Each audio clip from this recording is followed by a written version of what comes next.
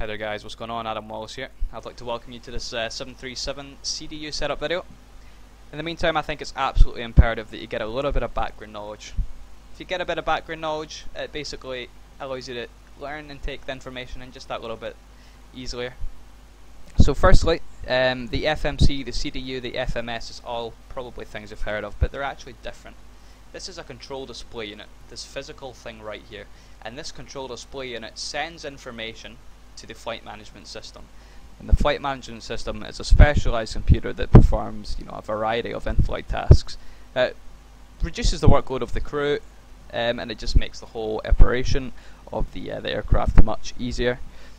It was introduced in the 767 in the 1980s, so it's been around for quite a long time, about 30 years. Um, and it, th that's pretty much all you need to know for now. But I'm just going to get right in. I'm going to tell you everything about this aircraft. Sorry about that. I'm going to tell you everything about this um, this system and how it works, and more importantly, how to program it, because that's why you're here. So as we can see, we're on the first page. Um, you'll be greeted by this page here. So you've got your PMDG setup, which goes through you know aircraft configuration, panel state load, all that stuff.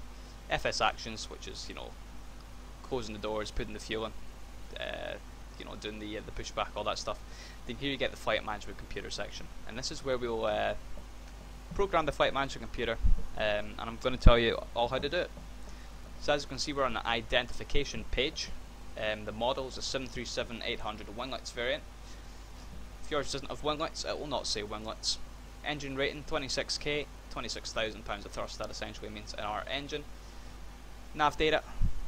So your AIRAC and your nav data is essentially there's some kind of navigation database that contains nav aids and waypoints um, within the uh, the flight management system, and sometimes they get out of date. As we can see, the one that we've got out of date, the one that we have is out of date because it went out of date in the 22nd. No, it didn't. It went out of date on the 18th of September 2013, which at the point of this video is almost three years ago. But that's fine. The operation program you don't need to worry about that. You just get different variants of software that control the uh, control display unit. This just happens to be this particular program. We don't need to worry about that. Let's go on to the next page, which is the position initialization. I have already done that, but for you to set the IRS on this aircraft, you need to set the IRS selectors to navigation, and you also need to have ground power while you do this. Then boxes will appear here that will say set IRS position, click last IRS position. This is not how obviously the, the real aircraft do it, but I don't think you really care about that. You just want to get this thing set up. So you just click on this right top LSK and you'd put it into the IRS boxes. And whether you've got your IRS alignment time set on realistic or instantaneous, your uh, navigation displays will look alive like this and not not aligned. So you can see that's the position initialization page. It just shows you your reference airport and your gate. Let's go the, uh, to the route page. As you can see, I've already pre-filled this in. But uh, so the origin is the airport that you're currently at, and which is Lima Echo Mike Golf, which we can see is Malaga Airport. If we uh, go back down to the CDU, we can see that the uh, destination is Echo Golf Papa Hotel, which is Edinburgh. We'll be departing runway 13, and our flight number is North Shuttle 222. So from then, if you want to fill in your route, you just go on the next page. And this is where it takes us to the page that a lot of people do struggle with and don't really understand that well for some reason, but it's actually very simple. So all you do is you'll input the information. For example, I want to go to the Bravo Lima November VOR first. You will get given a route. You don't just randomly come up with this at the top of your head like I am. You will uh, use you know a program like SimBrief. I'll put a link in the description. So you just put it in here and it pops up. I'm not going to be using airways today. An airway kind of looks like um, Uniform November 213 and you'd put it on the left side because this is the VIA section and this is the 2 section. So we're going to go direct. We're actually not though, we're going to fly through a standard instrument departure but I'm going to talk about that later. But we're going to go to BLN, that will say direct and our next waypoint um, will be Salco. And put that in. So we're going direct to BLN, BLN direct to Salco. Hopefully that makes sense. They're just waypoints. Um, that's a VOR, and that's just a, a waypoint essentially. That's how the aircraft flies about the sky through uh, a series of waypoints in air corridors. It's virtually a highway in the sky, literally. That's all it is. Um, and I'm going to go back to this page. So you, all you would do is you follow your, your, your whole route in this, and you press activate, and you put that in. And you can see once the route is activated, you get a magenta line here, signifying that the route is activated. But we're not going to do that. I'm going to show you something else that's going to save you a lot of time, and it's called a company route. So if we want to go from Malaga to Edinburgh, you need to uh, do this previous to flying the aircraft. And I'll probably do another video on this just to make it a little bit easier of how to set a company route up. But um, so use a you know a program like SimBrief and you'll get a company route file. You will not be able to do this unless you have set up a company route file. I, uh, I can't stress that enough. But if you have, for some reason, you still want to watch this video, I mean, if you're setting up company routes, you already know how to set up the FMC, I am fairly certain. However, just so you're aware, this is another thing you can learn, so you don't need to put the route in yourself, we can just pop that in. And as we can see, our route has changed, but if we hit next page, that's not by magic. We now have a route to our destination of Edinburgh, um, and it's put it in itself. That's because we set up a company route that just saves us saves us a lot of time setting it up. But that's not the route finish, guys. Um, we've still got a dep in our departure and arrival to set up. So we're departing off runway 13 today, and that's given us a series of standard instrument departures. Standard instrument departure is essentially a way of leaving the airport um, that's organised. Most aircrafts, when they fly, similar standard instrument departures depart the aircraft the same way. It's not just so aircrafts are leaving the sky out of the airport and flying wherever the hell they like. It's for coordination and it's for traffic management essentially. So here if we go to the uh, the route page again, hit next page, we can see that our first waypoint is BLN out of our departure from Malaga's runway 13. So we want to go on departure, runway 13, and the BLN to Charlie. Just choose the top one. And as we can see, our route is now changed. If we look to the uh, the nav display here, from what was a simple left turn out, is now turned into some kind of route out of the, that, that's what essentially what a standard departure is. So we're going to depart out, do a right loop over the airport, head to the Malga VOR, and head towards Bravo Uyat November VOR. That's essentially what that means. Um, and that's how you set up a standard instrument departure, and I've already been through what a standard instrument departure actually is. And you get the same for an arrival route. I'm not going to talk about that just now, um, but a, a, a, a standard terminal arrival route is basically a SID, but for landing. Essentially, that's what it is. So now if we hit to init we'll go to the performance page. One of the most important pages in the entire flight management computer. Norwegian uh, use a cost index of 15. Cost index is essentially how efficient you want the aircraft to fly, 1 being the most efficient, 99 being the least. Reserves, that's your reserve fuel. This tutorial is unfortunately not about fuel planning, this is about the setup of a CDU. So you put your pre-calculated reserve fuel into these boxes here. I'd like to point out that the boxes are information that must be computed for the aircraft to follow the, uh, the flight plan correctly. If you want to get your zero fuel weight, double click and that'll put in your gross weight, your optimum cruise level and your, uh, your zero fuel weight also. Trip fuel will be your predetermined number. As we can see our optimum flight level is flight level 399. Obviously we're not going to fly at that and we need to fly even at an even uh, yeah correction at an even altitude because we're flying north so we'll fly at flight level 380 do apologize flight level 380 all you need to do is type 380 put it into the boxes now from that you've just told the aircraft that you want to fly at a cost index of 15. That's your reserve fuel. That's your planned fuel. With your zero fuel weight and your gross weight computed, that's how high you want to fly. That's going to be your cruising altitude today. Flight level 380. Your cruise wind. Normally there, I'm just going to guess, you can get cruise winds off charts. Or if you run active sky, you can hit control 11 and it will give you a winds aloft report such as this. So um, at 380 we can see the winds 244 at 17. 250 is fine. and we'll just input that in. So now we've told the aircraft, the, uh, you put the cruise wind in because it's for performance data, obviously because we're on the performance initialization page.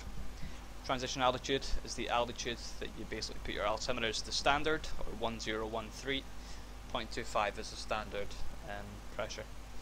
ISA deviation, you don't need to worry about that. However, ISA is how we calculate performance, um, and it's got to do with you know a lot of things such as air density, air pressure, and temperature. So, um, let's say for example, you just put in the temperature. Um, it is at your cruising altitude. Um, cruising altitude temperature is minus 55. So we'll put that in. The ISA deviation will show here. Do apologise put that wrong inside the scratch pad. So minus, which you can find to the right of the zero, and put that in there, and that will give you, not your, oh shit, I do apologise, now don't do that. I put that my ISA deviation is minus 55. That was a huge mistake, and that would be really bad. So we go, put the ISA air temperature at top of climb, minus 55, and that will give us our ISA deviation. That's all you need to know for that. It's for performance. You don't need to know anything else. If you get our N1 limit, this is the takeoff derate page, and it's a page that a lot of people have a lot of trouble with. To save the life of the engines, we're going to do a 22k engine derate with an assumed temperature of 55. I've simply pulled that number out my ass. I don't know how to calculate that number, and lots of people don't. It's something that basically requires, you know, your ATPLs really. I mean, it's very difficult. Essentially, what an assumed temperature is, which I've put there, is uh, it tricks the aircraft into thinking it's uh, 55 degrees outside and it basically allows the aircraft to perform more efficiently. It's something like that. You don't need to know about that. Just make sure you put a derate to save your engines. Go onto the takeoff page. Normally it's a flaps 5 departure and it gives us our N1. Just check that that says that on your engine displays. 89.6, 89.6, that's fine. Double tap the center gravity LSK and it will give us our elevator trim, so 5.20 units center gravity 24%, and it also it gives us our takeoff speeds, which is fantastic. But don't put in your takeoff speeds just yet. You want to go into the departure page and check the winds 350 at 12. Hit next page 350 forward slash. To apologise. 350 slash 12 and put that in. Now you can put your takeoff speeds in there we go. And bear in mind, just to get that green highlighted box away, um, that's essentially so you can control the scratch pad with the keyboard. Um, you just right click it and that box will disappear. So now we've inputted our takeoff reference data and all that good stuff. Um, I'm just going to go through all the other um, pages. Getting to the end of the setup now, so you'd be pretty much good to take off with this setup I've other than obviously doing the arrival. But you just find the appropriate standard terminal arrival route with the arrival runway, and it's virtually the same procedure as the SID. If you can set up the SID, you can set up the star. So there's not really a point in me going through the setting up of a standard terminal arrival route. I'm now going to go onto the hold page. You ever see our aircraft, you know, whether they're too high or too fast, they'll start spinning around in circles. Obviously not at a standing point, but they will fly in, in kind of like a, a NASCAR track sort of style. That's called a position hold and you can set a position hold at any time you want by the hold page. I say I've got to hold at Malaga VOR. I'll set that in and just watch here. There we go, Malaga VOR. There's now a hold over the airport. You would never do that obviously. But um, and here we get a Malaga hold. So we've got various things that you don't need to worry about. But there's your target altitude if you want to descend down. You can set that and that. EFC time, so that basically means that if there's a radio failure, that's your time that you're officially allowed to leave the hold, gives you your recommended speed and all that stuff. Essentially that's all you need to know from the uh, from the whole page. Now we get the climb page which just gives us all the climbing information. Cruise, same shit. Descent page, you can get our forecast, you can input your winds just for a more accurate fuel and time prediction. Again we've got ISA deviation and QNH, transition level for descent, stuff like that. Now here's something that's interesting. Um, if you go into the fix page, this is for situational awareness. So hit their airport, leave my echo mic off. See if we want a 5 nautical mile ring. Put the runway, uh, the course on 133. slash 5 nautical miles, we can see a 5 nautical mile circle appears around the airport. Now the normal figures would be 4 nautical mile, 10 nautical mile, and 25 nautical mile. 25 nautical mile for your minimum descent altitude, um, 10 nautical mile for a 10 mile final, and 4 nautical mile for uh, starting to configure for your final landing. So that's when you normally do the checklist, put the flaps, set landing flaps with the gear down, all that stuff. So that's the fixed page, and you'll be pleased to know that that is pretty much everything. Uh, so you do have an index page, and you've got a nav data page, in which you can uh, input certain stuff. Like say if you want to know the uh, the elevation of Edinburgh, airport ident, I'll give you the elevation. Say we want to know more about runway 24, it'll give us that just by inserting that. But that's it. That's the setup of this FMC. It's really not difficult. And if I just click on the engine flight instrument system, click that to plan, go onto the legs page, I can actually check the route and I can check that it's all fine. So there we go. And that's it. Now one thing I am going to do, just to show you, because this you will get these. So you get a route discontinuity. They're called discos. So I'm going to make one. We can see that here. All you do, click here, click it on, execute, and that's how you get rid of them. But essentially that's it. There's nothing else to say. Um, and in order for the uh, the aircraft to follow, you know, you, the programmed speeds that you've put in and the and the pre-programmed uh, altitudes, that's you'll use the, these two things here, LNAV and VNAV. That's it. Anyway guys, that's the setup of the FMC. I seriously hope you've enjoyed it. Hopefully I made it simple enough. If I didn't, I do apologise. Uh, if you've got any questions, leave them in the comment. But in the meantime, guys, from myself, it's been Adam Wallace. Hope you've all enjoyed the video. And uh, I'll see you guys later.